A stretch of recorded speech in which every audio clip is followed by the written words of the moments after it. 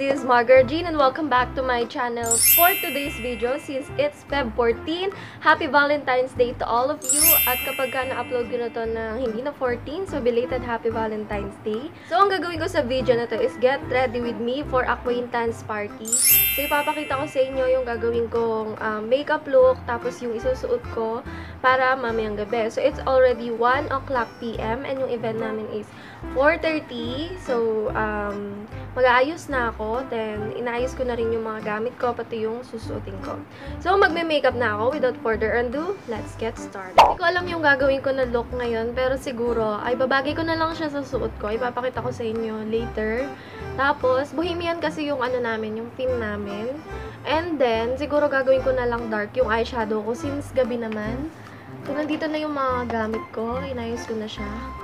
So, let's start with the moisturizer. Myra Smooth Glowing, Smooth Glow Whitening Facial Moisturizer para hindi siya mag-dry. And nga pala, kapag ka may event kayo na ganito or magme-makeup kayo, make sure na hindi kayo puyat para kumapit yung makeup. So, ako, hindi ko siya nagawa kasi napuyat din ako kagabi. So, good luck na lang sa akin kung kakapit ang makeup, kung anong magiging itsura ko this night. So, nilagay ko lang siya sa kamay ko, tapos, spread ko siya sa face ko.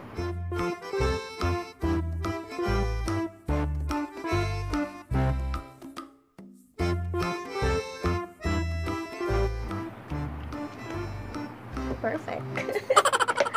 so, I using Careline. Careline Oil Control Liquid Makeup. So, perfect siya for, um, for oily skin kasi oil control siya.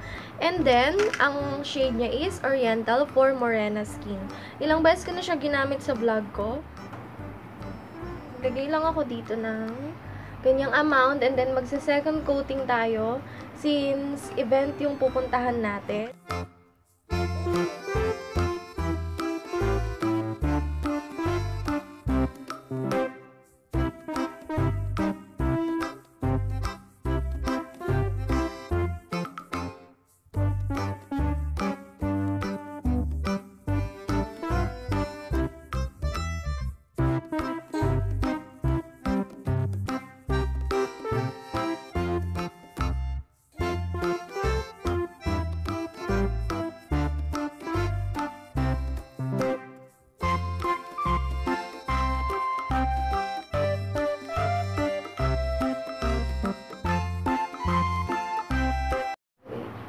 Have something to share with you.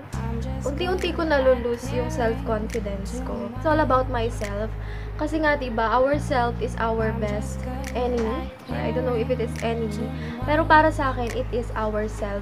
Kasi, um, yung tipong, you overthink. You overthink always. Na parang, you ask yourself, kung bakit ganon. And it's, really madrama. Pero I am trying my best to gain para mag-gain siya na mag-gain. Balik na tayo sa makeup, okay? I'll be using my favorite or my only one concealer.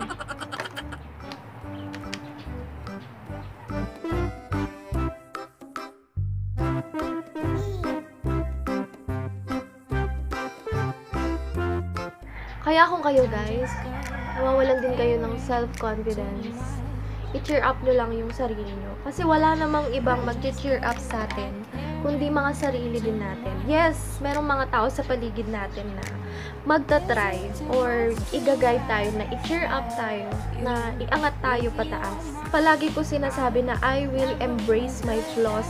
I will embrace kung sino man ako, kung ano man ako, kung ano man yung itsura ko. Pero, talagang dadating ka sa point na mawawalan ka ng self-confidence. I don't know kung saan siya galing. But ngayon, eto, I am trying. I am trying. I am really trying my best.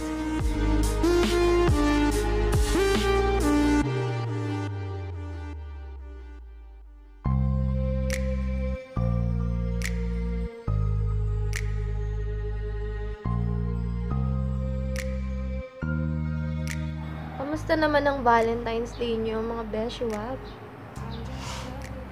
Mga single dyan, Date with your friends, with your family, date with God, date with yourself. Para sa mga single, it's very important to have self-love. Kasi sabi ko nga, wala namang ibang magmamahal, mag-cheer up sa mga sarili natin, kundi tayo lang din. Andyan yung mga tao, ibang tao para mahalin tayo, para iparamdam sa atin yung worth natin. Pero pinaka-importante sa lahat is yung sarili natin. It's okay to be selfish sometimes. Kasi nga, 'di ba? Paano ka mamahalin ng ibang tao kung mismo sarili mo, hindi mo lang. So, self-love is very important. I promote self-love. I'm done with my eyebrow. Yes, ganyan lang siya. Proceed na tayo sa ating eyeshadow. Gagamitin ko ulit tong ginamit ko or ginawa ko ng review which is the Jaclyn Hill palette. And then, gagamitin ko din tong Revlon Photo Ready. So, maliit lang siya. Yung kukunin ko lang dito is yung dark. Kasi nga, tulad nung sinabi ko dun sa last vlog ko, wala siyang masyadong dark colors. So, kunin ko lang dito yung sa light and then yung glittery na color.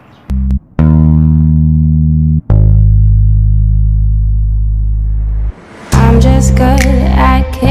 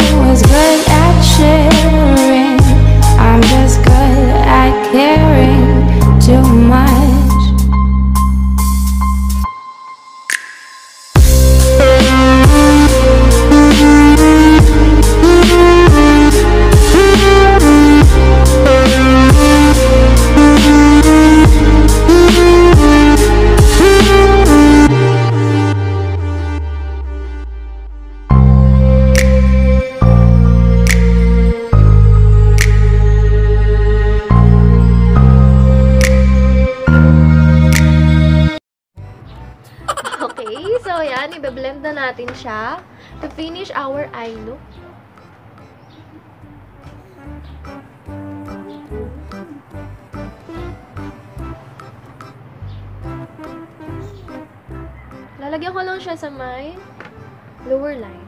Lower line ba tawag? Basta sa ilalim ng mata. Hindi natin pahirapan ito sa sarili natin.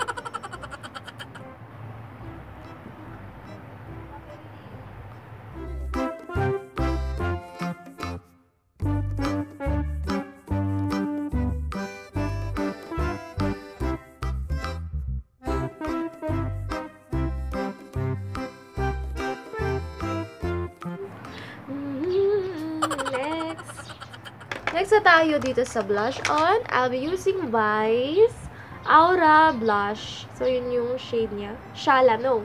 Yung shade niya is Shala. Wow.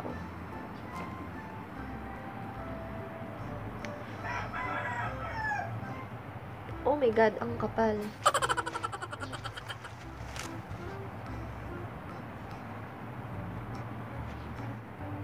Sabi nila O yan, habang nagme-makeup, kailangan kumanta para ma-relax. Alam, araw, darating ang iyong tangiling. At nung dumating ang aking panalangin ay hindi na maikubli. Next, magko-contour na tayo. So, sa jawline lang ako maglalagay ng contour, hindi na dito. Kasi, feel ko mas lalong papayat yung mukha ko kapag ginawa ko yon.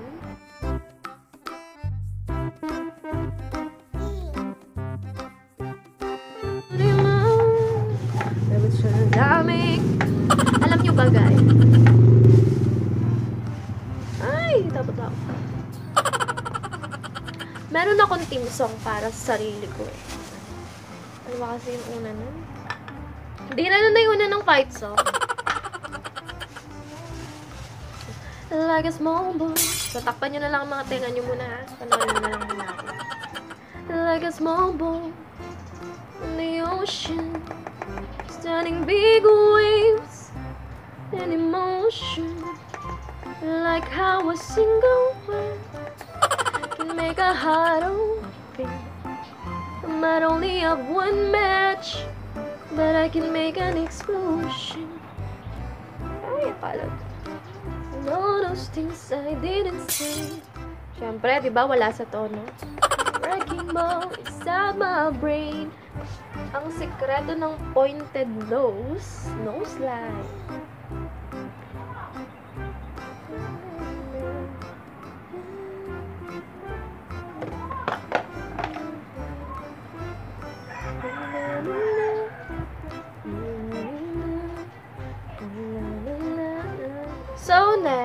Next, maglalagay na tayo ng highlighter. This is my favorite part.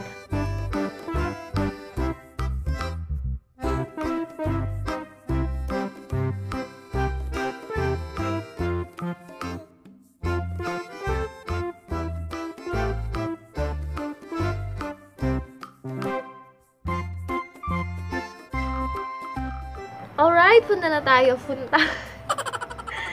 punta na tayo sa ating final touch, which, which is... Hindi naman ako naka-braces. Punta tayo sa ating final touch, which is lipstick. Ano naman pala? Kailangan pala mabagal. So, I'll be using Curline Matte Liquid Lipstick. Better than basic. So, let's see kung tatagal siya hanggang 10 p.m. Ang shade niya is Craving. Dark siya na brown. Kanti lang muna. Oh my god. Para akong ano, warakista.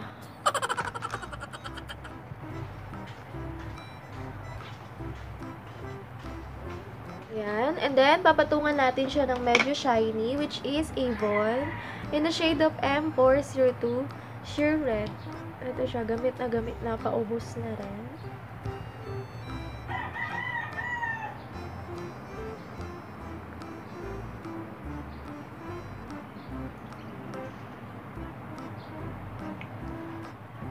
Alright, and then lagyan natin siya ng highlighter. Ito yun lang muna natin kasi nga medyo ano siya, medyo shiny siya, tapos medyo liquid yung nilagay natin.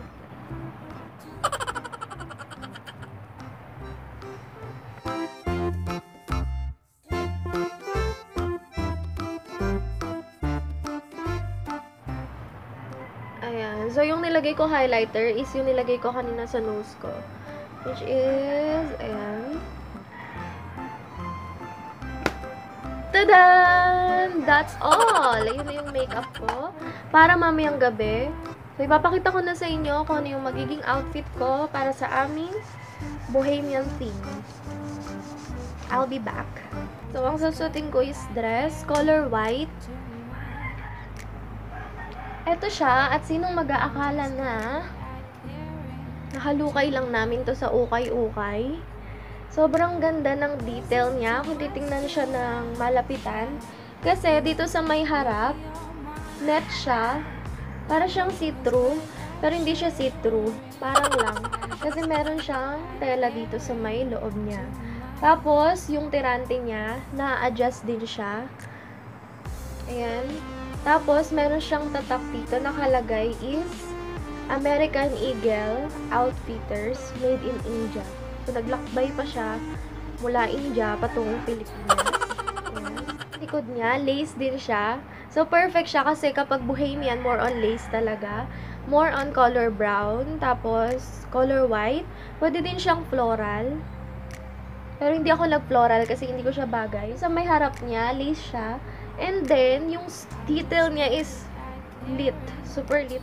Kasi, dito tela siya. I don't know how to describe ha. Dito tela siya. And then, yung gitna niya, lace ulit. Tapos, tela na plain. Tapos, lace ulit. And then, alternate siya.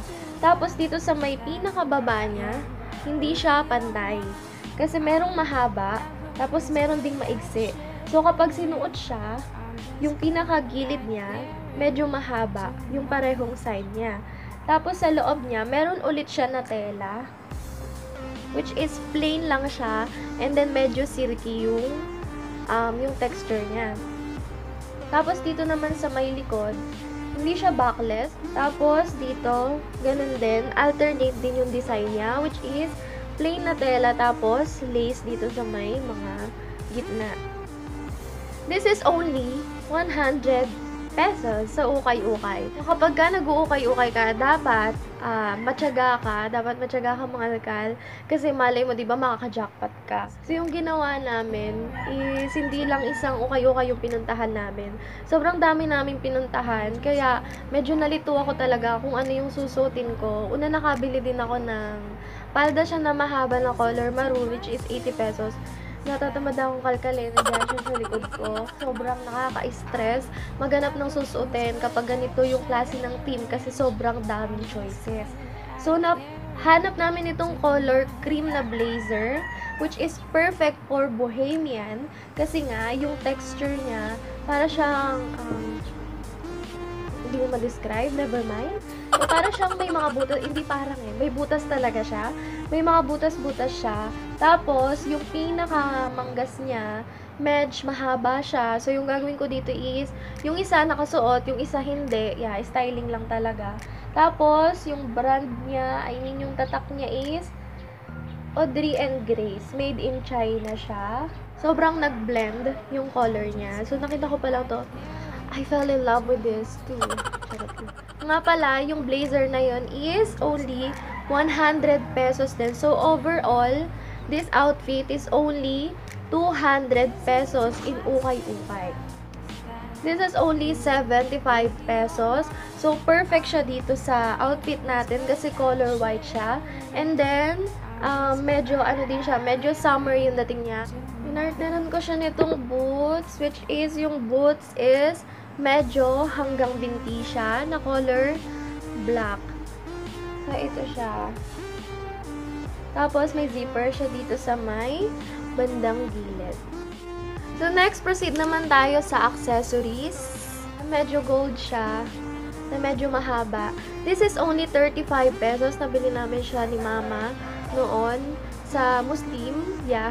Kasi 'di ba kapag uh, sa mga nagtitinda ng ganon, yung mga Muslim, sobrang daming accessories yung tinitinda nila. So eto 35 pesos lang siya. And then eto nabili ko din siya sa supermarket. Ay, supermarket. Ano ba ay? Ang hirap nga lang niyang ayusin. Ayan siya. Oh my God. Basta ganyan siya. Tatlo siya, tatlo yung pendant niya. Tapos may extension din siya dito para kung gusto mo na mas mahaba or kung gusto mo siyang iklian. Tapos medyo color black siya. So nag-blend ulit siya dun sa suot natin na color white. Tapos terno siya dun sa boots natin. This is only 50 pesos. Yeah. This is 35 and then this is 50 pesos. So this is my accessories. Kailangan natin ng bag. Para lalagyan ng mga pang-retouch natin or whatever ginamit ko tong medyo color pink na bag na pwede siyang gawing pouch kapag ka tinanggal to. Yes, natatanggal siya. Tapos, yung bukasan niya is ganito. Ayan. Maliit lang siya, so perfect lang siya for foundation, for lipstick, for tissue. So, yun lang yung malalagay mo dito or yung phone mo hindi na ako siguro masyadong magbablog sa mismong party kasi nga get ready with me lang naman to. At saka medyo hassle din yon lalo na kung magmamadali na kami mamaya if in case na malilate kami. So, meron na akong prediction. So, see you later! Bye!